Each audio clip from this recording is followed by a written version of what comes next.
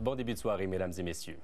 La pénurie de personnel au sein du réseau de la santé sévit partout au Québec et une dame de 87 ans d'un CHSLD de Notre-Dame-du-Pont-Conseil en subit directement les contre-coups. Une à deux fois par semaine, elle doit se préparer pour la nuit dès 16 heures par manque d'employés, une pratique qualifiée d'inacceptable par ses proches qui exhorte les autorités de la santé à corriger le tir. Jean-François Dumas. Emménagée depuis peu au CHSLD, l'accueil Bon Conseil, Jacqueline Levasseur ne croyait pas devoir faire les frais de la pénurie d'employés aussi rapidement.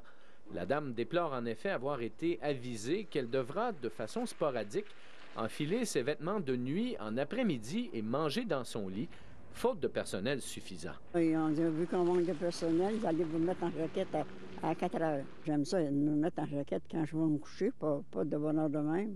Les proches de l'octogénaire se disent outrés et espéraient que le séjour de leur mère ici s'amorce de façon différente. Ça peut arriver une à deux fois par semaine selon le manque de personnel. Ils font ça en rotation. C'est ça, c'est les réponses que j'ai eues de l'infirmière-chef. Euh, je trouve ça vraiment, vraiment désastreux. C'est ceux qui ont forgé le Québec, nos aînés. Il faut en prendre soin.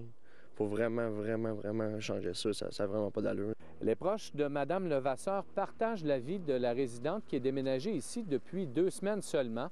S'ils ne remettent pas en question le dévouement du personnel de l'établissement, ils exigent que cette pratique qu'ils qualifient d'inacceptable prenne fin immédiatement. J'ai écrit à la, à la ministre Marguerite Blais et j'ai écrit au ministre aussi, au premier ministre. Oui, je comprends qu'il y a un manque de personnel, mais c'est pas à, pas à payer pour ces choses-là. Le CIUS Mauricie, Centre du Québec, confirme l'existence de cette mesure qualifiée d'exceptionnelle.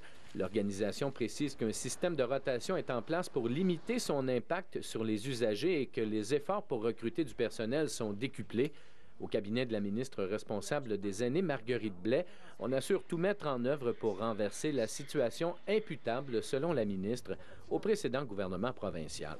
Ici Jean-François Dumas, Radio-Canada, Notre-Dame du Bon Conseil.